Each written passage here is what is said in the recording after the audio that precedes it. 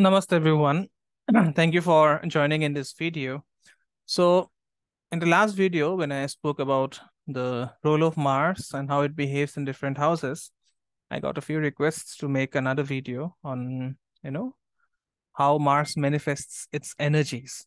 Okay.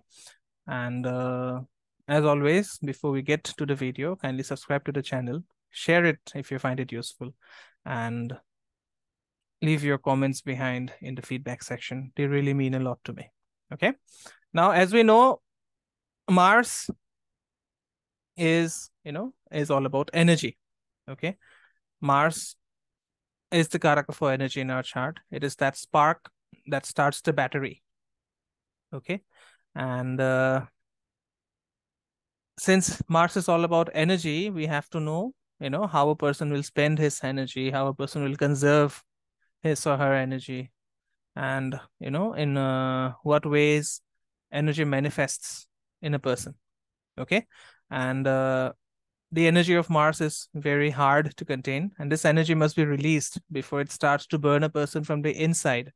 And the release usually happens with the help of actions with the help of physical exertion okay? So mars is all about courageously accepting challenges and fighting and winning for whatever we believe is right okay and this is a planet that encourages a person to rise, to move, to do anything, but not wait. Okay. Because Mars has no concept of patience. It is the exact opposite of Saturn. Right. So, as I said, Mars is about giving us the drive and the energy to compete.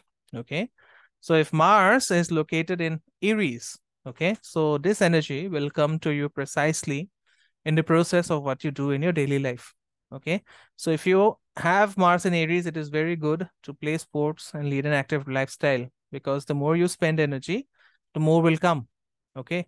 And uh, on the contrary, if you, you know, if you mess around and do not have time to spend energy, then the energy will still come. Okay. Mars will still provide you with energy, but since it needs a logical outlet, this will happen in the form of anger or aggression or violence and that could be against yourself or others okay so you have to always put yourself first and provide an outlet for this energy if you have mars in aries okay now if you have mars in taurus then uh, you know you need a good earthly material goal you know for example making this amount of money in this period of time okay and uh, once you have once you start having materialistic goals energy will come okay? And it'll come as much as needed okay? For example if you have a super goal then you'll have super energy okay? And you need to use it. Do not you know dismiss that energy that comes you know? For example say if you want a new car or a trip or a house then set yourself this goal and deadline and everything you do do it with this goal in mind okay? So then the whole space will line up in such a way so as to lead you to this car or to this trip or to this house Okay. Now, if you don't pay attention to this, there is a high risk of apathy, depression, and uh, you know there will be no changes in life. Okay.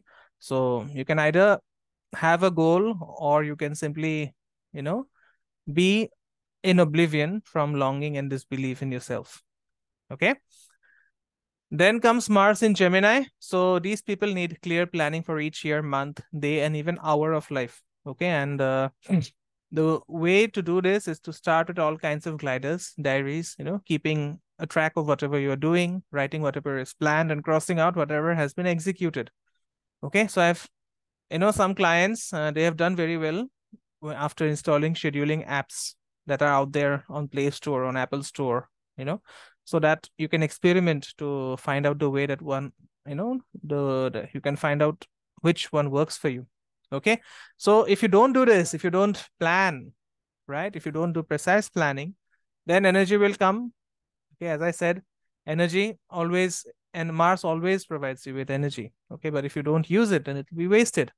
Okay. So Mars in Gemini makes someone who is superb at multitasking and productive at the same time. Okay. So you must use this ability because otherwise the, strong energy can harm you very badly. Okay. Mars in Cancer, right? So if you have Mars in Cancer, then your business is to accumulate and collect information and focus on this. Okay. And uh, later on, you'll figure out how you'll use it. Okay. So put all your focus on collecting information. Okay. So these people usually have a lot to know about everything, you know, they are all about accumulating knowledge and information and you should also master any practice that will help you maintain a calm state of mind you know be calm and very importantly because mars is debilitated here in cancer you know you have to treat everything in life with acceptance okay? This is your strength and this is where energy lies okay? Now if you ignore all this if you fight against everything that is happening then you will get mental disorders okay? From mild to very serious like insomnia eating disorders and other unpleasant things. So you know if you are suffering from mental disorders then you know the best remedy is to treat everything in life with acceptance. Okay? Then mars and leo. So this is one of the most energy generating signs for mars and it will come if you pay attention and time to friendship. Okay? If you have self esteem but do not you know that self esteem should not turn into pride. If you develop creative abilities you know kindness and broad soul generosity towards others. Okay? So you know generosity towards others does not mean you're forced to give things okay? You know you should be giving out of joy out of abundance all right? And uh, with mars in leo you can and you should strive to be a public person in plain sight to attract attention giving your energy to people so that you receive many times more in return okay? So if you sit in a if you have mars in leo and then you sit in a corner and be modest this is not your option okay? But then all of this should come from socially important and useful motives okay? Just not for the sake of popularity but to provide benefit to the world to the people at large so that it's a win-win situation for everyone okay? Now if mars is in virgo then in order to receive energy and circulate it you must be careful you know even pedantic. You should take care of your you should take care of your health. You should take care of the health of your loved ones okay in any form you know you can take care of your relatives and you can also work as a doctor. And you can also take care of your environment. Okay so this is about you know about going global right? And uh, also because this mars is in virgo this means you should pay serious attention to counting money. Okay so you know it's much better if you land up in work that allows you to work as an accountant or just with money. It's really really good. Okay if not you know if you're not working as an accountant or if you don't have you know if if you don't have any work to do with money then you must master the science of family budget planning. And uh, as a result you'll immediately feel good regarding the flow of energy that begins to circulate and brings joy to you. Okay? Now if you don't do it then life will force you anyway. Okay? But that will not be in the form in which you will be pleased. Okay? So you have to choose. Again mars in libra so you'll get energy in the process of communicating with people. Okay. And it is very important to be honest and genuine in your communications. Okay. There should not be any kind of gossip, no cheating, no discussion, no backbiting, you know, no hypocrisy. So you must pay a lot of attention throughout your life to partnership in any manifestations, you know, whether it is in your personal life, in your work, or in any communication, you know, in any form of communication on any topic. Okay. Now you'll do good if you if you have Mars in Libra and you are a doctor or a lawyer. Okay. If not, then you must build work on the principle of openness and honesty with partners and subordinates. Okay. Now Libra is a social sign. So try not to be alone, even if no one is around. Okay. So you can always communicate online or in instant messengers.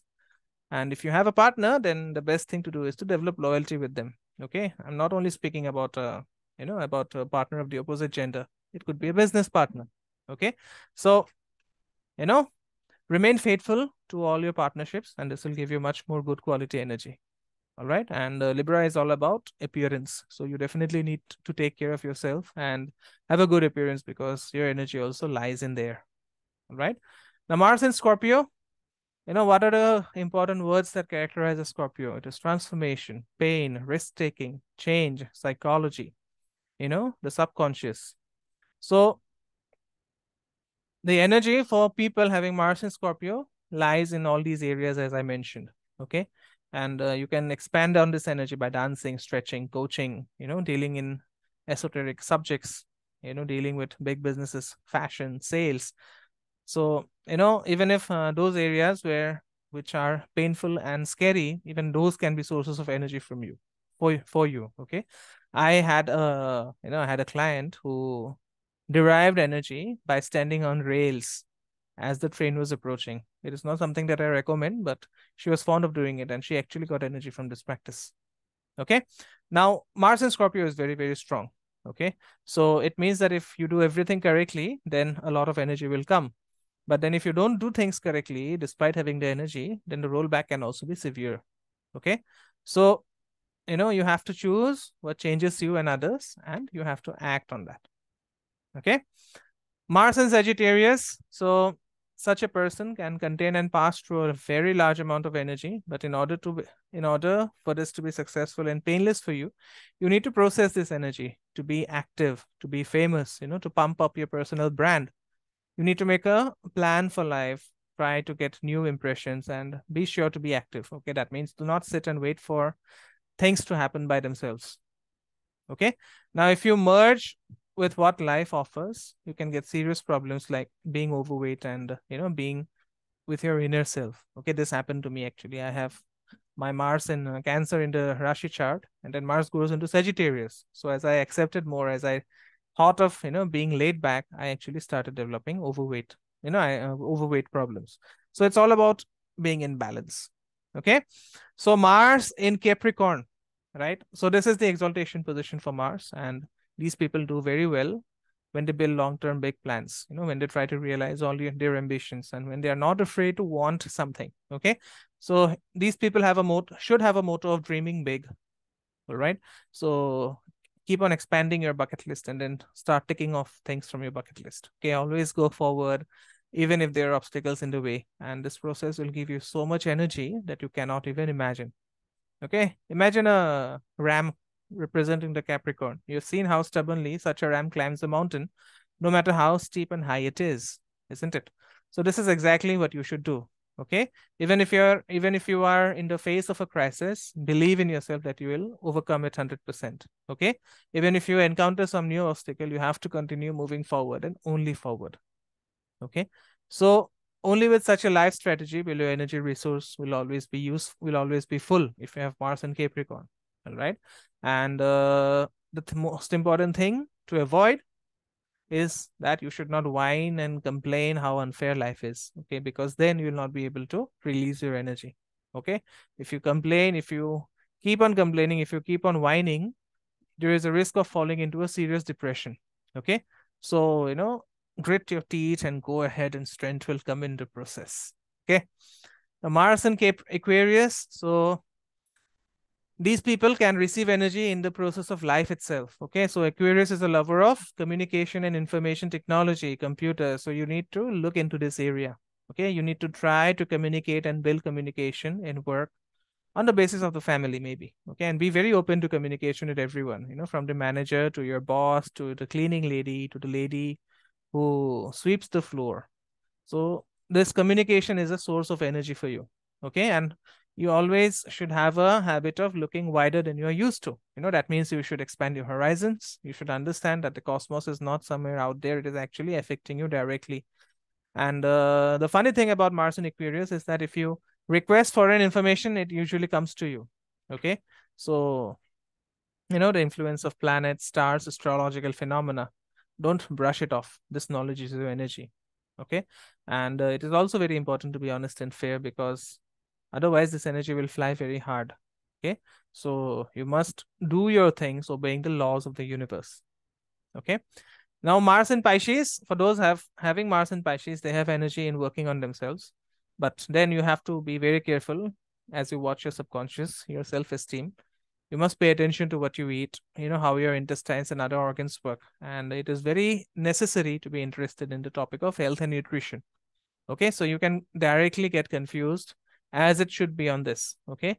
So the more you take a deep dive into various topics, the more energy you will get from that source. Okay. So one way to release this energy of Mars and Pisces is to study psychology, you know, all variants of creativity. And uh, if you have studied something, then the remedy is you should teach that to others as well. Okay. You should also study the information about the energies and the universe.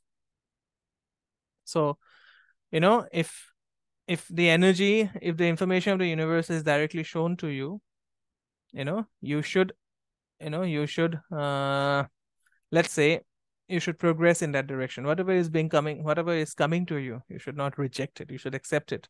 And once you have this acceptance, okay, it is similar to Mars in Cancer, but you know, it's more about exploration. Cancer is more about acceptance. Uh, Mars in Pisces is more about exploring a particular topic and then accepting what comes out, what information comes out. You know, if it's just like digging the earth, being fully accepting of whatever, you know, will come out of that digging. Okay. And uh, you must realize that, you know, this, uh, you know, this working on yourself will not happen on its own. Okay.